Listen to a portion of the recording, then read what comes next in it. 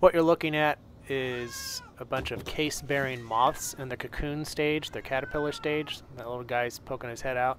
They can move pretty fast when they're full grown inside the cocoon before they turn into a stupid little moth that goes around looking for ways to propagate itself again.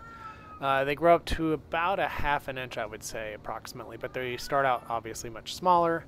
They're typically found moving around a lot more at night, and they eat dust, hair, paper, clothes, you name it. Look in the description box below to see how to deal with these things because they are a pain in the ass to get rid of. These are usually found in places that aren't disturbed too much or like under papers, behind furniture, unfortunately in your closet, on your clothes that aren't moved regularly, and so on and so forth.